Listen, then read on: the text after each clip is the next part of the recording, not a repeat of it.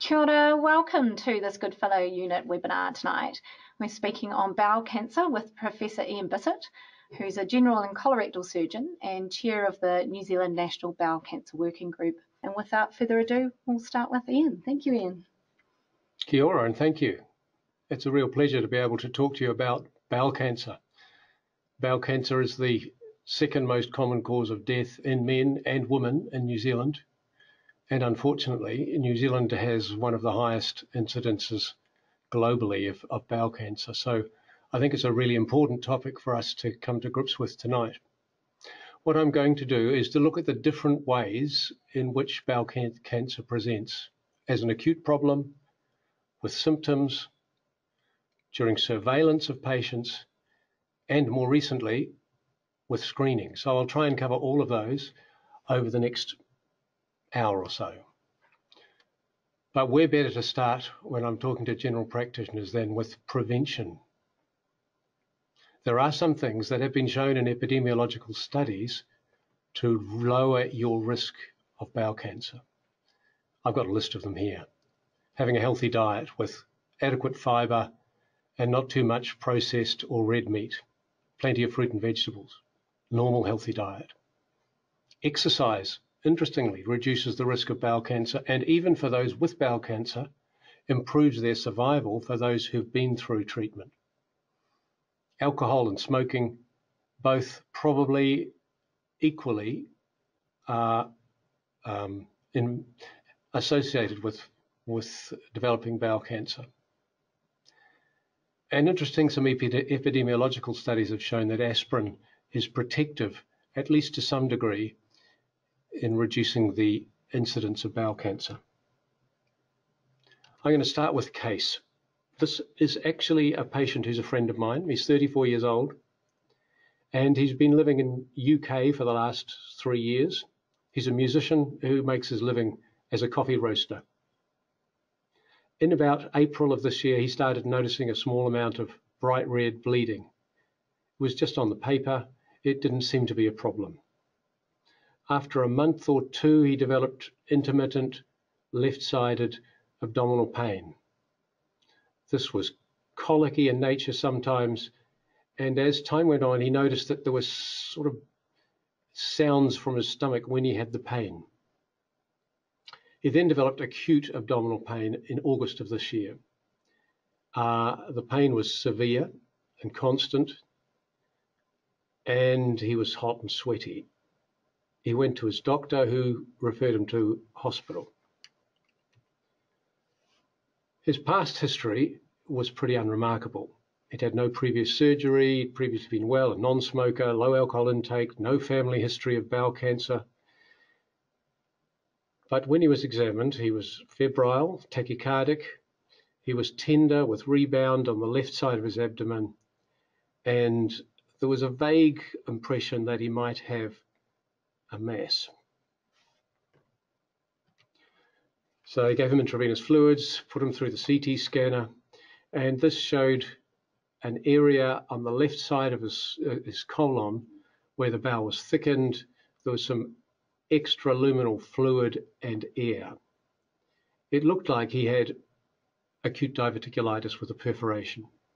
So he was started on intravenous antibiotics, continued with IV fluids, nil by mouth, his temperature and pain settled, he got back onto a normal diet, and he was discharged. A month later, he had a similar attack, which again settled. He didn't require admission for that one. Then in September, he got increasing pain, anorexia, weight loss, and his friends said he looked absolutely terrible. He was readmitted to hospital and rescanned, and this showed that he had an increased size in the mass on the left side of his abdomen and a perforation going into the abdominal wall. There was nothing to see in the rest of his abdomen nor in his lungs. So he had antibiotics overnight, intravenous fluids, and the following morning he had a major laparotomy. There was a tumor in the descending colon. It had perforated into the left abdominal wall and two loops of small bowel were also stuck on that. So he had a major resection, resection of the left colon, two loops of small bowel, and a covering ileostomy. The histology came back as a poorly differentiated adenocarcinoma, T4, meaning it had invaded something else, N2, there were 14 lymph nodes identified, all were involved with cancer. And unfortunately, the resection margin in the abdominal wall was positive for tumour. He's just arrived back in New Zealand. He's about to start on chemotherapy, but the likelihood of him being cured from this disease is relatively small. I want to talk a little bit about acute presentation with bowel cancer. New Zealand has a 26% present, uh, emergency presentation rate for colorectal cancer.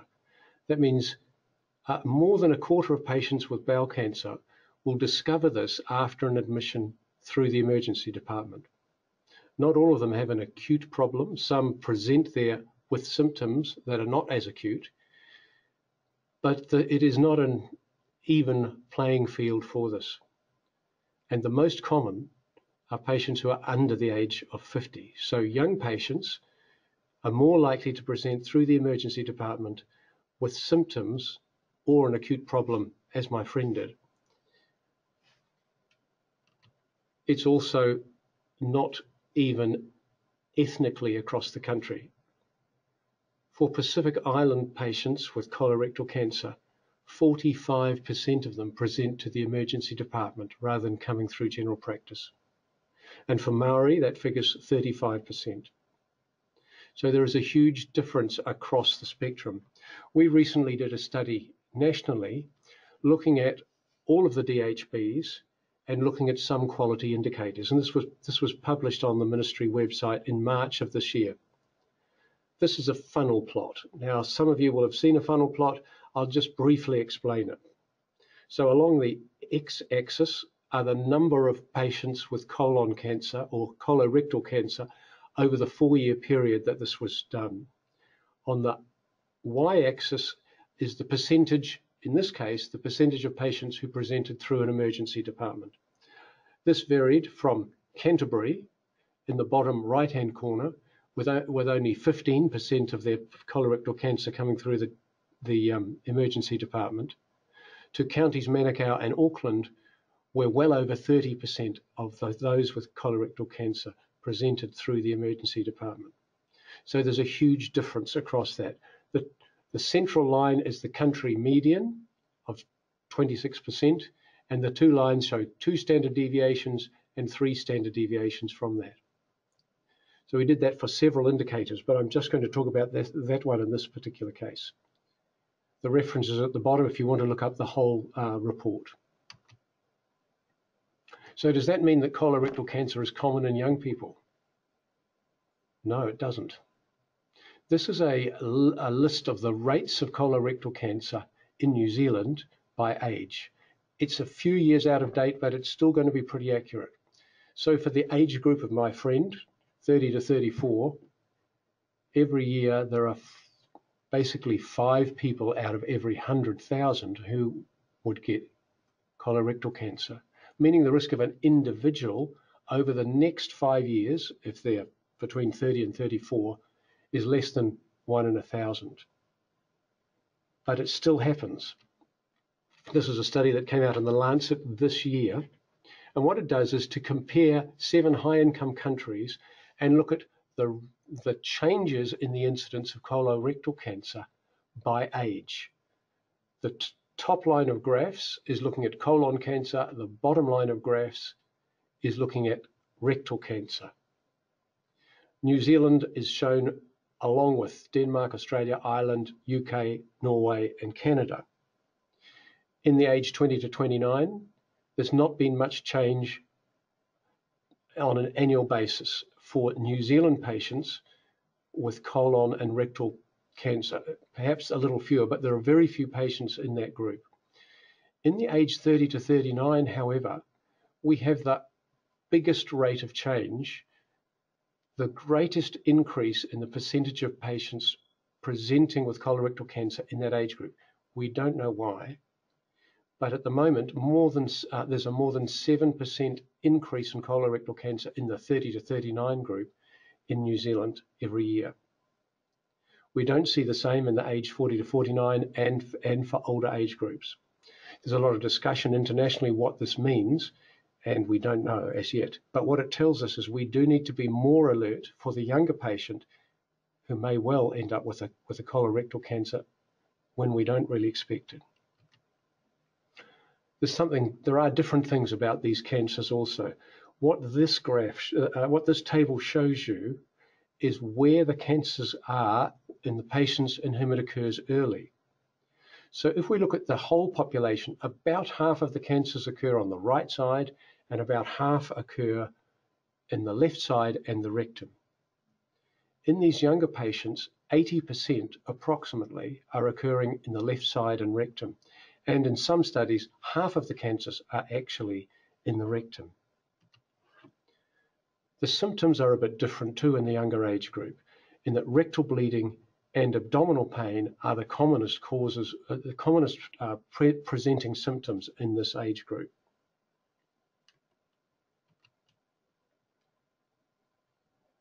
This slide is to remind you that when you have a patient with symptoms relating to the bowel, particularly if they have bleeding, they should have a rectal exam. And if they are under the age of 50, that is even more important because the risk of them having a rectal cancer is higher than the rest of the population. So there's a reasonable chance that if you don't do it, you'll actually miss a rectal cancer that you could have identified at that point. So that's patients that present acutely. I'm going to talk a little bit about symptomatic patients now. This is my second patient. She's a 74 year old woman who presented actually with a new onset of shortness of breath climbing the hill. She had previously been well, she had never had any heart problems, she had no chest pain, no abdominal pain, she was free of medication. She was a perfect patient, really, 74 year old. She'd previously had a, a uh, lap cholecystectomy. She lived with a spouse. She was not drinking, not eating, um, not drinking alcohol, not smoking, and had no family history. Her GP examined her. They noted she had pale conjunctiva, heart rate of 85, blood pressure 140 on 90, nothing to find on abdominal examination, but she had a hemoglobin of 78, which was microcytic, and a ferritin of 14 with normal liver function tests. This GP did exactly the right thing. She was referred on for gastroscopy and colonoscopy. On her colonoscopy, she had an ascending colon carcinoma. And on her CT scan, you could see the cancer, and fortunately, she had no evidence of any metastases elsewhere. Interestingly, just today, I had a 65 year old patient, my first patient I saw this morning, who also had had a routine blood test which showed a hemoglobin of 115, a, a uh, ferritin of 4, and he was referred for gastroscopy and colonoscopy and had an almost identical cancer in the cecum, completely asymptomatic otherwise. The GP was onto it, and the patient was diagnosed within two months of, of getting the blood test initially that showed he was anemic. So this particular patient had a preoperative iron infusion, a laparoscopic right hemicolectomy. She did well. She was discharged on day four. Histology showed a, a T3, meaning the tumor was through the bowel wall but hadn't invaded anything else. N0, no lymph nodes involved, M0, no metastases, and it was well differentiated. She has an 80 to 85% chance of being cured of her cancer with that operation. What will happen with her? She will have another CT scan done at one to two years. She will have a colonoscopy about three years down the track, and she'll have a CEA performed every three to six months as long as she's fit enough to have something done if we identify anything. So what are the important symptoms that might make you be make you concerned that the patient might have bowel cancer? There are three main symptoms you need to be aware of. PR bleeding, which would be the commonest. Iron deficiency anemia, as the patients I've told you about had, and changes of bowel habit towards being looser and more frequent.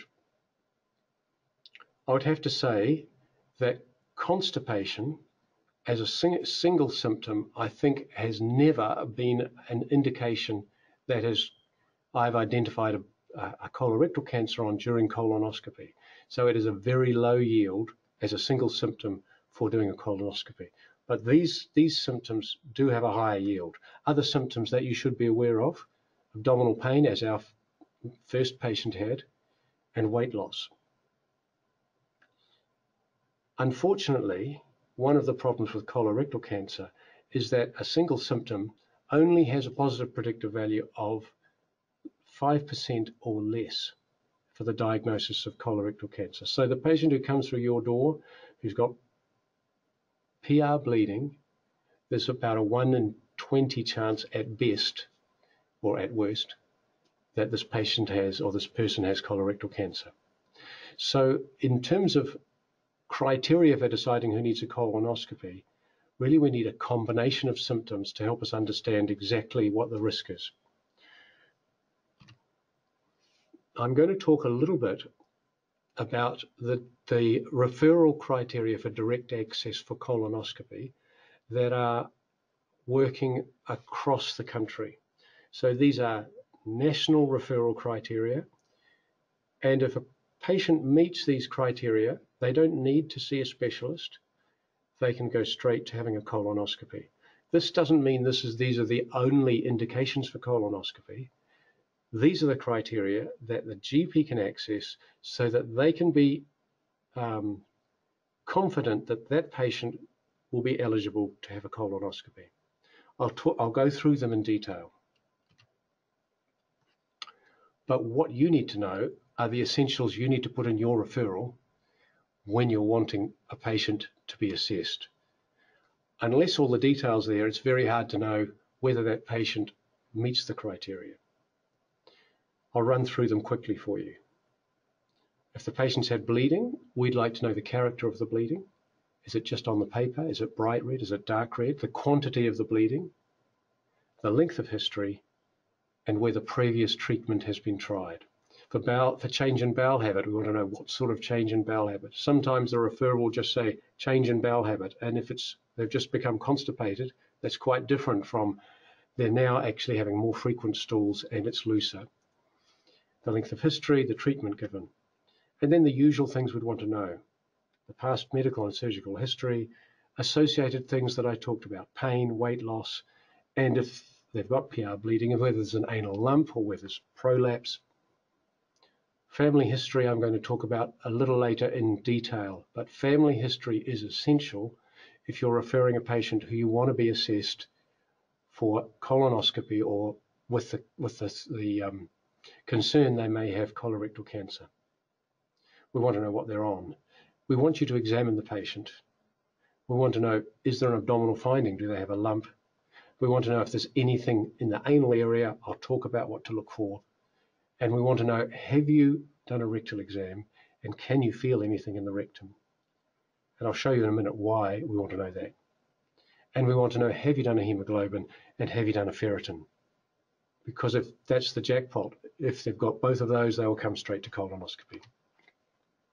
So there are two different types of criteria. There are urgent criteria, and we, we would require the patient to have their colonoscopy within two weeks of referral. So that is fast. I'll show you how well we're doing at that a bit later. So there are three criteria for, for there are three urgent criteria for colonoscopy within two weeks. The first is a known or suspected colorectal cancer. So this might be on imaging. The patient may have had a, a CT, for instance, and it looks like there's a cancer there. There may be something you can feel rectally. So you think this is a cancer. Um, you may have put a scope in and seen something that looks like a cancer. All of those patients should immediately be referred for an urgent colonoscopy, which would be done preoperatively along with a biopsy to ensure this is a cancer. The next group are patients with unexplained rectal bleeding. There's something in the criteria which I will explain in a moment. Benign anal causes treated or excluded. I'll tell you how to do that. With iron deficiency anemia. So you've got bleeding rectally, unexplained, iron deficiency anemia, any age, they should have a colonoscopy. The third is altered bowel habit, the looser, more frequent type, for greater than six weeks, plus unexplained bleeding in aged greater than or equal to 50. So there's the three urgent criteria. the next group, we require their colonoscopy to be done, well, our, our target is for their colonoscopy to be done within six weeks. This one we're not doing quite so well nationally, but I'll show you what, how that is. So the first is altered bowel habit, again, looser, more frequent for more than six weeks and aged over 50, 50 or over. Second, altered bowel habit, looser or more frequent for six weeks duration with unexplained bleeding aged 40 to 50. Third, unexplained rectal bleeding, same again, aged greater than or equal to 50.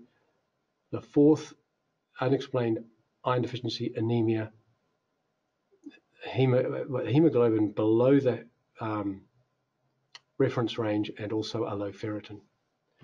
There are some provisos on that so that you do need to, uh, in, in premenopausal women, you need to take a history of their menstrual bleeding and so on. Uh, the next one is deals with family history. So there's the New Zealand guidelines category 2 and category 3 families. I will tell you exactly what category 2 and category 3 are in a minute. Number six, suspected or suspected or assessment of inflammatory bowel disease. Now, often those patients would be sent for a, a first specialist appointment rather than going straight for a colonoscopy. So it would depend on the setting with those patients. And then a patient who's had an image that shows there's a polyp which is greater than five millimeters, and they will need to have a polypectomy, so they will get a colonoscopy as well. So those those criteria are the criteria that you can confidently use and know your patient will get a colonoscopy, either within two weeks or hopefully within six weeks. We're doing better at the two weeks than the six weeks nationally. What does benign anal causes excluded mean or treated? So benign anal causes is identified as hemorrhoids, anal fissure, anal fistula, inflammatory bowel disease, radiation proctitis, mucosal or full thickness rectal prolapse. So if you examine the patient, you do a proctoscopy, and they have none of those, then you can safely say you've excluded them. If you find one of those, then you may need to refer the patient for that or begin treatment for that condition. Here they are. So I, I can't actually get you to respond, I don't think, to what they are, but perhaps you don't want to. the top two are patients with hemorrhoids, fourth degree hemorrhoids on the right. The lower picture is a chronic anal fissure. These are usually posterior, usually associated with a small skin tag, and may be so painful it's difficult to examine the patient. The top left-hand picture is a perianal abscess. The top right-hand picture is a fistula in ano. And the lower picture is a rectal prolapse, complete rectal prolapse. So what do you do if you're worried about a patient, they've come with symptoms, and they don't meet the criteria for direct access to colonoscopy or colonography? Well, you have two main options. The first, if you're very concerned about the patient, is to refer for an FSA with either a general surgeon, if you think it's likely that it's a general surgical problem, or a gastroenterologist. So these are the patients whose symptoms are distressing, they need some treatment, and you can't do it in the general practice.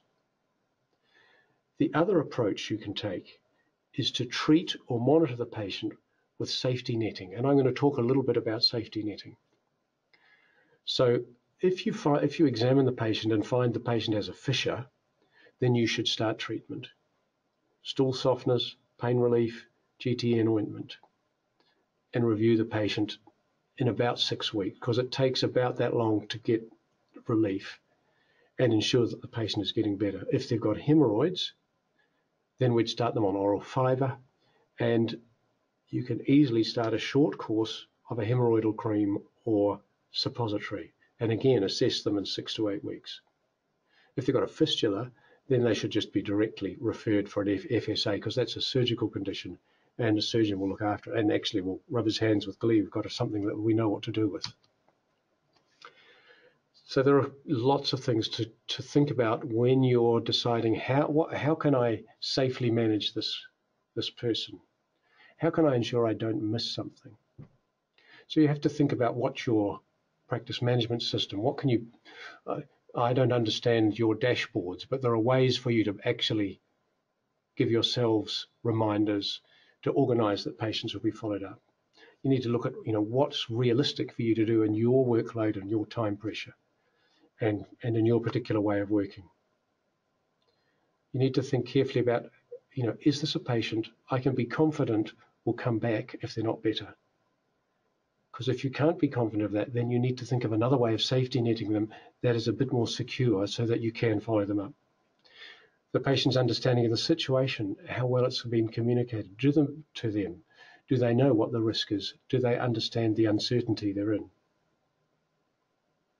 How likely is it the patient will come back? Aspects that may increase vulnerability, e.g., the patient who's disabled in some way. Your own concern does this really look like this might be a problem?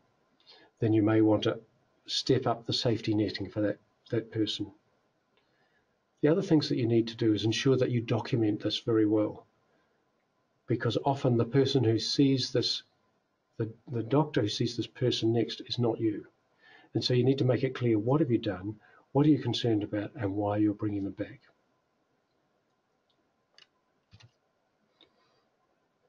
I work a lot with John McManaman. Many of you will know John from, from Whanganui. He said, these are the quality, what quality professional care looks like. Maintaining a high index of suspicion, monitoring to ensure follow-up isn't missed, considering FSA options where direct access is not met. We've talked about that. Talking in your peer review meetings about patients that you're concerned about recognizing that patients who reattend with symptoms actually have an increased risk of having some pathology. Learning to communicate uncertainty with patients. And we have to do that often, don't we? And engaging the patient in the decision making of how you're going to safety net in their particular case. So that's managing symptoms. The next group of presentations is those who come, those who are diagnosed during surveillance. This is another patient of mine. I met her when she was 40. She'd had 10 years of ulcerative colitis and sclerosing cholangitis.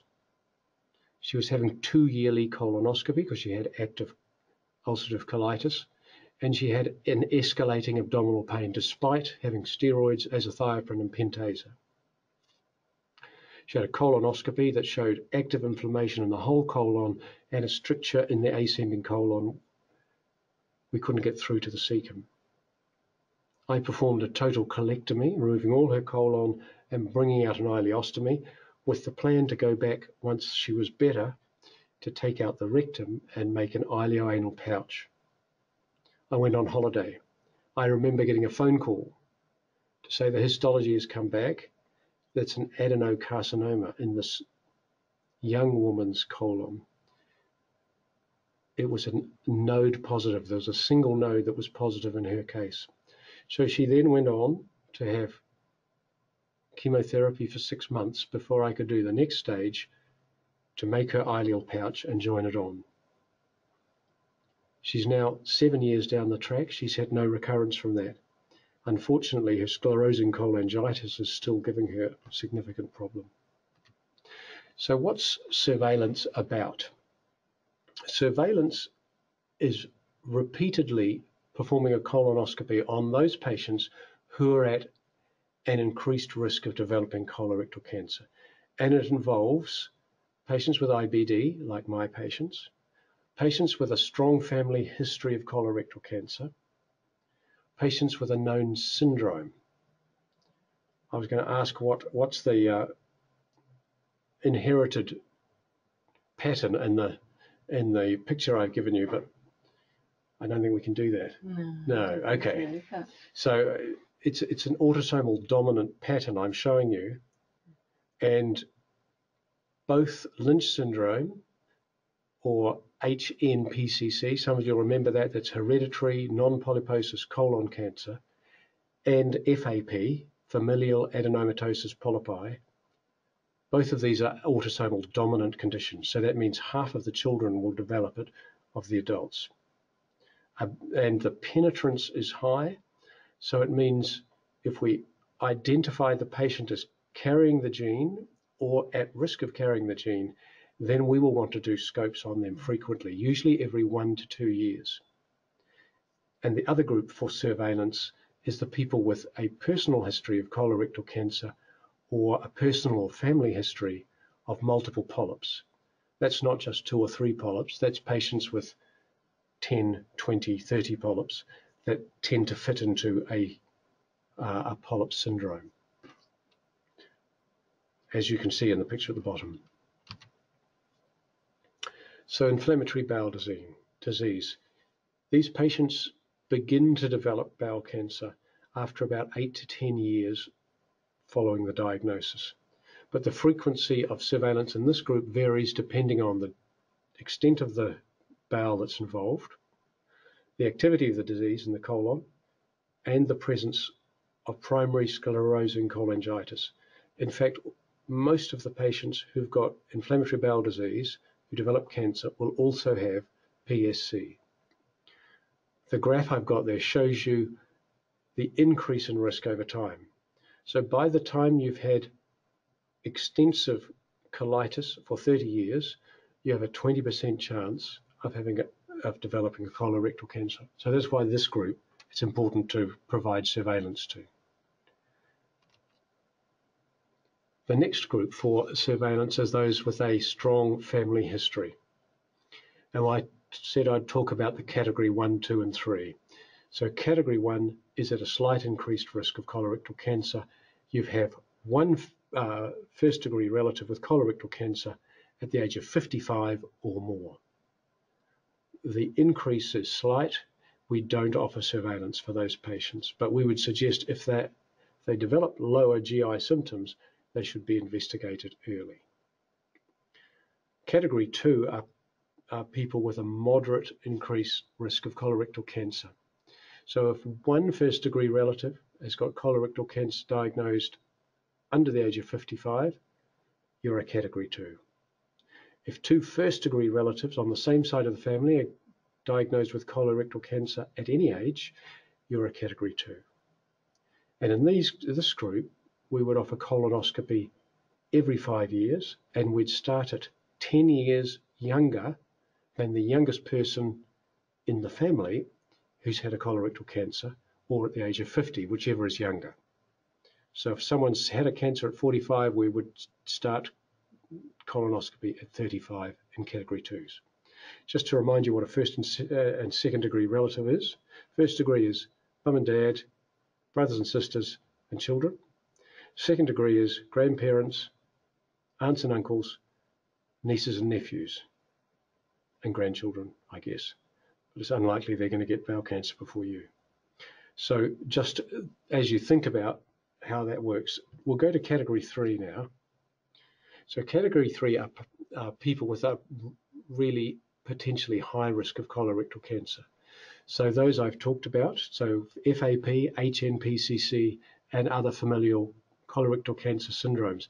And in New Zealand, we have one of the highest rates of another syndrome called serrated polyposis syndrome and we have quite a big cohort across New Zealand. These patients can develop colorectal cancers quite early. So it's important if you have patients who are getting multiple serrated polyps on their colonoscopies that these patients get referred to either a, a bowel cancer specialist or the New Zealand Familial Gastrointestinal Cancer Registry. That's the first group. The second, people with one first degree relative plus two or more first or second degree relatives all on the same side of the family with colorectal cancer at any age. So that means three or more, one of, at least one of whom is a first degree relative. There are several other combinations of multiple first and degree, uh, second degree relatives which you won't remember, but they are all in the document at the bottom, which tells you who is at increased risk of colorectal cancer. The next group is a, uh, if you have a personal or first degree relative with multiple colonic polyps, as in the picture, and for those, the, the surveillance is tailored to what actually they have. So for some people, it will be a yearly colonoscopy. For others, it might be two yearly or five yearly. And so it's important they get referred to someone who's dealing with these patients frequently. This is the um, Ministry of Health guideline on surveillance for people with increased colorectal cancer risk. You can click on that. It's very simple to to read, and if you uh, you won't remember it all, but it's easy for you to to uh, have a look at when you need to. Finally, I'm going to talk a bit about bowel cancer screening. And my thanks to um, Sue Parry, who's the clinical director of, of the bowel screening program, for these slides, because these are very up to date. They, they were sort of within the last week, they've been updated with where we're at. So the National Bowel Cancer Screening Program has been underway now for two and a half years and is rolling out. And it's based on a fecal occult blood test. I'll tell you a little bit more about it. So it's free. We're screening people between the age of 60 and 74, and we're using a fecal immunochemical test. So this is a bit different from the old Guaiac test. It doesn't require any dietary uh, restrictions. It only requires a single test to be done, and it's more sensitive. Um, people are individually invited and they're identified by their uh, PHO data and their NHI. And they're invited every two years from the age of 60 to 74. The priority populations are Maori, Pacific, and those residing in DEP 9 and 10 areas, and there are particular things in place to try and improve their participation. So the screening program started in July of, of 2017, and so the first screening round was completed this year in July in Hutt and Wairarapa, the two first um, DHBs off the block. Half of the DHBs in the country are now have now rolled out um, screening, and I think you recognise the people cutting the cake was halfway through. This is the rollout dates, or at least provisional rollout dates, for the other 10 DHBs. So by the middle of 2021, we expect the whole of New Zealand to be included in the screening program. This is a snapshot of the screening program up to the 26th of November of this year. So 350,000 kits sent, about 200,000 kits returned, 7,500 positive results, nearly 6,000 colonoscopies performed, 440 cancers detected, and a third of those are stage one. In the general population of symptomatic patients, about 10 to 15% at best are stage one. Another 30% in the screening program are stage two, meaning that about 65%, in about 65% of the screened patients who have a cancer, they'll be cured from their cancer by surgery alone. So a much better situation than for the symptomatic patients. So how are we doing?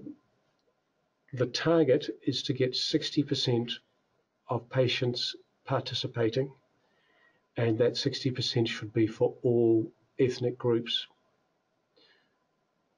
what we see is that the overall for all participant participation rate is 63% for the country. For Maori, it's 58.4%, which is almost there. When we started the pilot program, the Maori participation rate was less than 45%. So there's a lot of effort being going into improving Maori participation rate. The group we're struggling with the most is actually Pacific Island participants. And there are several new things that we're trying to try and improve that. At present, for, for Pacific individuals, it's only 44% participation. This talks a little bit, about what we're trying to do to improve participation. So we're involved with both Maori and Pacific networks, and I've been involved in meetings with them. For Pacific and Maori participants who do not respond to their first invitation, they will get up to three phone calls from someone of their own ethnicity to encourage them to be involved. In the Counties Manukau DHB, which has the highest proportion of Pacific, we are in the process of arranging drop-off of the sample to the lab rather than posting it, because this is seen as a barrier for both Maori and Pacific Island people. The kit has been redesigned and more postcode languages have been included with it. So we're hoping we can get all of the groups up to 60%. So how well is the screening program working? The positivity rate across the country is 4.2%. So of 100 people who return the kit, 4.2 are positive. 90% of those have their colonoscopy within the program. And I want to encourage you, if you have a patient who has a positive test, to encourage them to have their colonoscopy within their DHB. It will be performed in a timely time, uh, manner and the collection of data is much more complete than if they go and have their colonoscopy in private. And, and they fall off the radar in a sense from the, the screening program. So 8% of the patients who have a colonoscopy will have a cancer. 25% of the patients who have a colonoscopy will have an advanced adenoma. So that means an adenoma that is already grown towards a cancer, although it's not yet become one. And about 60% will have an adenoma. So a very large proportion of the patients with a positive test have got a finding when they have a colonoscopy. So what's happening with DHB colonoscopy delivery? So this is just the last five years. If we look month by month, from 2015 somewhere around 2,500 to 3,000 patients a month were getting a colonoscopy nationally. It is now up to 5,000 patients a month getting a colonoscopy annually. If you look at the different colors, at the very bottom is purple, which is the screening colonoscopies. The next group is blue is the surveillance colonoscopies. The next group in green is the symptomatic colonoscopies. And the top group in red or purple, I mean uh, red or orange, is the urgent colonoscopies. You can see all of those groups have increased, not just the screening group at the bottom. So what's happened with the introduction of screening is that people are becoming more aware of bowel cancer and more patients are being referred and more patients are being scoped. How are we getting on in terms of wait time indicators? So this means if a patient meets the criteria for an urgent colonoscopy, how often are they getting that colonoscopy within two weeks? That's the red line at the top. And this is national data. So at present, about 93% of patients who are, who are referred for an urgent colonoscopy get their colonoscopy within two weeks. I said earlier we're not doing so well with the symptomatic patients, but still 56% of patients with symptoms that meet the criteria are getting that within six weeks. I know that five years ago we were nowhere near that. And the surveillance patients are running pretty close to the patients with symptoms of a non-urgent type. I've just got two patients I want to tell you, ask you about and get you to respond to. So you're going to need to be ready to, to respond to a poll now. This is the first patient. It's a 35 year old man He's got anal pain and bright red bleeding for a week. Began with constipation. He looks well. He's got a tender anus that you can't examine. What are you going to do next? Okay, Helen, set up the poll. All right. So You choose between these five. How many have you got now? right, so we're up to seventy percent. So last couple of seconds. You've got to bring the, bring the next patient in now, so you better make a decision. Yeah. The queue's waiting. well done, everyone. Okay. So if I close this pool, will we get the percentages coming up? Yeah. Okay. So we'll close that, and we've got the percentages here. Ian, if you can Okay. So 10% went for one, 1% went for two, 7% went for three, a hefty 70% went for four, and 12% went for five. So this patient almost certainly has got an acute anal fissure. And so the treatment for that is pain relief, stool softener, lactulose, and local anesthetic jelly. And that's the first line for these patients. And if it's only a week, they've only had pain for a week, it's very likely that this is going to settle without having to do anything else. I think sending the patient to APU is probably over overacting in this one. The problem with using codeine is it will make the patient more constipated, and so things will be worse. Injecting local anesthetic around the anal canal and re-examining would be a bit sporting, I would say. And you wouldn't get an urgent colonoscopy for that. Occasionally, there are patients with an acute fissure who have so much pain that we need to do an examination under anesthetic. But usually, we would try and treat them with conservative measures, as in, in four, to start with. Okay, let's try the next one. Okay, so the next case you've got here. So, this is a 65 year old man who presents with a fall and dizziness. He's had five large bowel motions with blood in 24 hours, and he looks pale. He's got a pulse rate of 96, blood pressure of 90 on 60. Abdominal exam is, is nothing to find really, it's normal. What are you going to do for this patient? So, your options are call the ambulance and send to the hospital emergency department arrange for a hemoglobin and start iron tablets, stool softener, or refer for urgent colonoscopy. You've got a minute to think about it. Thank you everyone for voting. It, it helps the discussion and it's really nice to go through the different options and see where we all sit. Oh, so we're getting a good amount of people voting early this time. There's some decisive people out there about this patient. All right, last few people. How many voted now? We've got 75, 75% have voted. Okay. So last couple of seconds, everyone. Okay, so this, uh, you've got your uh, okay, so there's the percentages. So for one, the vast majority of you went for one. Call the ambulance and send to the hospital emergency department. 83%. 6% arrange hemoglobin and start iron tablets, 1% stool softener, and 10% refer for urgent colonoscopy. So this patient has got what's called a massive GI bleed, and so does need urgent treatment. Um, the commonest cause of this is a diverticular bleed, actually, rather than a bowel cancer. Sometimes we see it with angiodysplasia as well of the colon. That's a very small, if you like, a, a vascular anomaly in the in the lining of the bowel that bleeds. Almost always, these will stop, but the patient does need to be admitted to hospital. So number number one is the right answer for this. Call the ambulance, get them into hospital. They're likely to need a transfusion. They may stop bleeding, but they may need surgery or they may need um, angiography and embolization of the of the of the area that's bleeding. Right.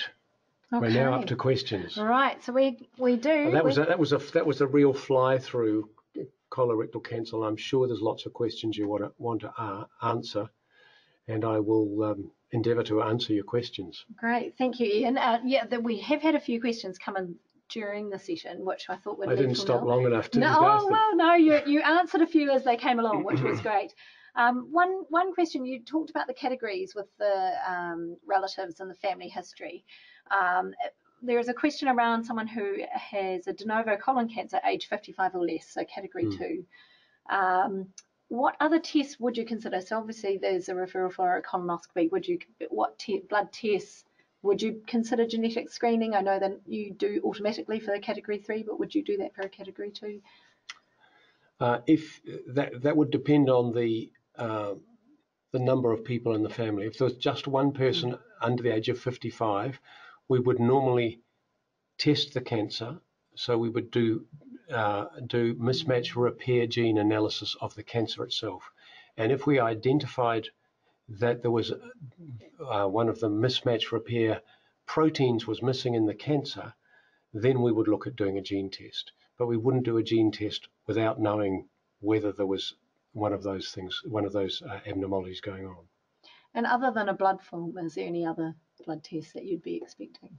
So you'd be looking In a, in so this is an asymptomatic relative of single era. no, I, there, Yeah. there wouldn't be. Yeah. Okay. So you know, unless they've got bleeding, in which case they still need a colonoscopy. Yeah. yeah. So that so that's a category two surveillance colonoscopy, and so they would not just get it once; they'd get a colonoscopy starting from the age of 45 Mm. and every five years, unless, of course, there were multiple polyps found, and they may have more frequent colonoscopies in that case. yeah, they may increase the category based on their Yeah. their own findings. And another member in the family may develop a cancer, and so then it you know it changes their their standing in terms of category. Yeah. Yes. Uh, the next question: Do you expect GPs to be, be performing proctoscopy in order to rule out benign causes of rectal bleeding? Um, it's not something we're generally taught in general practice training. Okay, I know. Yeah, and I, I know there's a, a, quite a few older GPs who are who are um, comfortable doing proctoscopy, and there are a lot of other GPs who, who just don't do Mm. proctoscopy. Mm.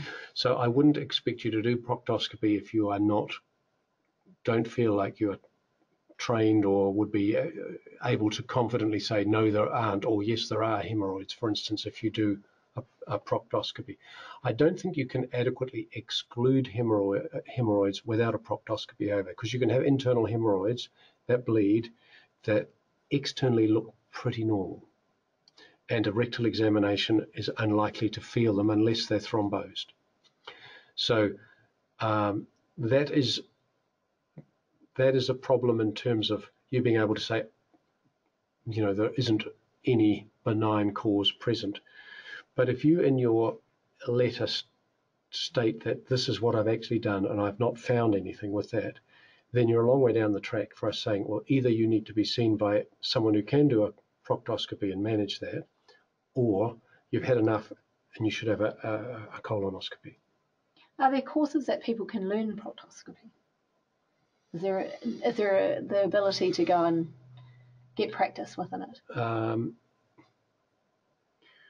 we do teach it to medical students. So, I mean, I'm, I'm not aware of a course for GPs, but if it was a felt need, we would we could easily arrange that actually, and I, I would be very happy to teach people to do it. Um, it isn't a difficult skill. Um, it would be worthwhile for this to involve not just how to do it, but perhaps do a clinic, a colorectal clinic where you see Mm. different conditions at the same time. Wonderful. That was another another question that came up there. You know, can we sit in clinics? So, Yeah, yeah, I, I would welcome people to come to, to my clinic. Yeah, wonderful. Uh, about with regards to screening, are GPs or could GPs be informed if our patients don't complete screening? Yes. Yes. And I can't I can't answer exactly how that works, but there may be some GPs who can answer that. Yeah. Um,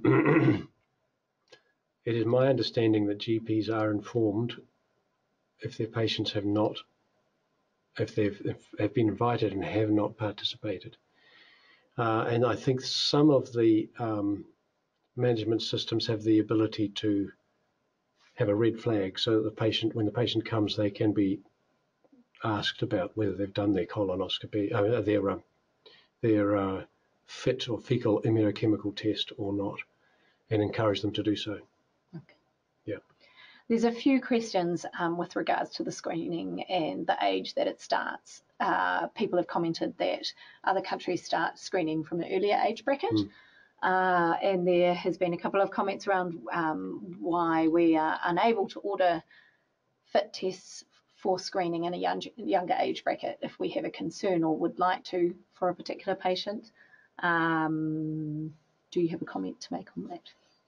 Okay, so the first question was um, why is New Zealand screening from why, start, why are we starting yeah. at why are we starting at 60? Uh, we're starting at 60 because we don't have the capacity at present to start at 50. And the participation rate and the hit rate is higher from 60 to 74 than from 50 to 59. Mm. Uh, in fact, most countries start with a narrower age range and increase it as their capacity for the colonoscopy increases. So, um,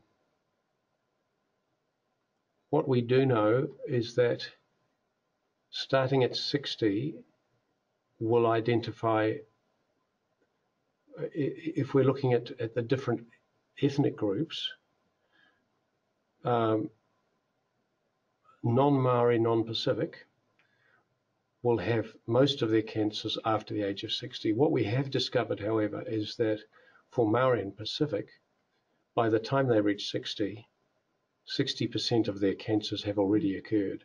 Mm-hmm. So we are disproportionately disadvantaging Maori and Pacific having the, the, the range starting at 60 for them. So there is there is discussion at present around how we manage that, and that may mean that we progressively reduce the age range starting with Maori and Pacific to 50. That is still a work in progress, but I I would suspect in two to three years that will have, that will be happening. The next question was around why can't we just use the fit test on whoever we like? Well, I guess in that younger age group, if we are concerned. Yeah. So um, there are private, um, there is private access to fit testing. Our concern is that using a fit test in a, in a patient who is symptomatic is not the right test. And secondly, we're concerned about the the problem of of the inequity of starting a fit test in a population that we're not really geared to provide the colonoscopy follow up for. So it is um, I guess, a, a, a, public health and equity issue that we're, we're struggling with, and a resource issue, to be to be honest. Mm-hmm. It is interesting, however, what's happening in the UK at the moment, and we're watching this carefully. There is a um, a study going on called the NICE Fit study, where they are taking patients or they're taking people presenting with symptoms and testing them with a very sensitive fit test to decide whether or not they should have a colonoscopy. So they, they are, in a sense, trying to exclude patients who don't need a colonoscopy rather than identify more people who do. So it's, it's, it is, if you like, a rationing tool to say, okay, of these patients who are symptomatic, who we don't know whether they're the ones who need a colonoscopy, can we do another step and give them a very sensitive fit test that rules out cancer? that study is still ongoing. I can tell you, I, I actually emailed the author the last couple of days, and basically he, he said, we have, if we set the fit test at 10, then we have a sensitivity of 90%, so we miss 10% of the cancers. If we set it at 2, we have a sensitivity. That's a, that's just about eh, eh, you know the tiniest amount of blood you can imagine. We have a 96% sensitivity, but we end up with a much poorer specificity. So we end up with a lot more people who don't need a colonoscopy getting a colonoscopy. I don't know the long-term answer for this, but I suspect there's going to be some way that we manage symptomatic patients better than we do at the moment, and I don't think it's very far away. And it may involve a FIT test, actually. Okay, and I think that there, there's a question that, that segues from that, which was, would we be able to do the fecal test on premenopausal women with new anemia to rule out bowel blood loss? Um, and it's a, possibly a similar answer. Yeah, mm. yeah, they probably need a colonoscopy mm. if they've not got menorrhagia and they've got iron deficiency anemia. Mm. Um, yeah. I'm looking into, into the distance. Having a thought. uh, okay, just uh, a, a, new question that's come through. Is in the younger age group um, with colorectal cancer, is there any relationship with HPV? Not that we're aware of. Okay. But there is a relationship with anal cancer. Yes. And so definitely, I mean, I didn't talk about anal cancer in my talk, which is obviously a different different subject, but almost all the patients with anal cancer have got HPV, mm. and it's usually HPV 16. Um, do you have a preference for topical anal preparations, ultraproct versus Proctosedyl? I don't have a preference. No. And so, but some patients have a preference, and they have a preference of whether they want to have ointment they apply or a, a, uh, suppository. So I, I think the thing to watch though is that you don't just keep using that for a long, long time because it does thin the anoderm, and so they're more likely to get very thin, irritated skin. So for, as a short as a short burst to try and overcome, you know, an attack of hemorrhoidal symptoms, then that's that's very reasonable. Uh, there have been a couple of questions around the role of doing tumour markers either in symptomatic patients or as screening for bowel cancer? Um, the main tumour marker for colorectal cancer is CEA, and it isn't a screening test. So what the problem is uh, a bowel cancer that is just in the bowel wall does not cause the CEA to be elevated. The CEA is actually a marker of tumour outside the portal circulation. So it's actually a, a marker to suggest that maybe this patient's had spread somewhere else. So we use a CEA in the postoperative setting to identify those patients who may have, for instance, a liver metastasis or a lung metastasis that may be resectable. But it's of no value as a, as a screening test for the population. And in terms of screening, can we use fecal calprotectin? As a screening tool? Not as a screening tool for colorectal cancer. Okay. Are there any thoughts that you have on cancer sniffing dogs? Now that's unusual. I haven't heard of this one. Oh no, well yes. yeah. So I have thoughts about cancer sniffing dogs. I, would like to meet one, um, but there is about a study about to happen in New Zealand, yeah, I believe. Yeah. I saw that yesterday about a year ago, there was some um, some work that looked at. I'd have to say the study wasn't very big, and the study was not looking at a population. It was looking at a selection of patients who are going to have a colonoscopy. The sniffer dogs were pretty good. Mm. So whether sniffer dogs are going to become part of what we use, I don't know. We're not there yet. I, mean, I think it's very interesting, but I think not much more than interesting yet. Mm. Um, so I'll be interested to see what happens. Watch that space. And I, I mean, think the study they're going to do in New Zealand is sniffing urine rather than stool. The major studies that I've seen were, were sniffing stool, but who knows? The dog's nose is pretty good. Yeah. Might be cheaper than. we just have to train a lot of dogs, but I don't. I don't know that. It's it's still work a work progress. in progress. Yeah. Uh, what there has been. Um, suggested to GPs that they do a screening annual uh, rectal, digital rectal examination Um, so there has been a question about your opinion on this and also on the role of sigmoidoscopy. Okay, so I think a, a, a digital rectal examination yearly looking for a rectal cancer is not a, really a recommended approach. Um, I'm not sure what the, the, the, the, rate of rectal examination is recommended for prostate cancer. Um, I know that there are GPs who would do that as part of their overall general examination. I would recommend that. But in terms of, uh, I think in an asymptomatic person looking for a rectal cancer, doing a rectal exam yearly is, is not one of the, the agreed approaches. Mm. Um, flexible sigmoidoscopy as opposed to rigid sigmoidoscopy is a screening program that's used in some places. And in UK, they are at present trialing an initial flexible sigmoidoscopy followed by the, the immunochemical fit test after that. In time, that might be shown to be the best way to go.